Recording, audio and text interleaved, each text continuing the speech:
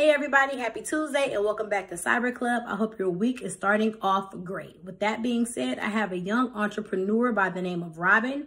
And if you click the link down below, you can see a little bit of her story. And she's going to tell you about her success and how she navigates through everyday life experiences and challenges. Come back next week for another Entrepreneur Spotlight.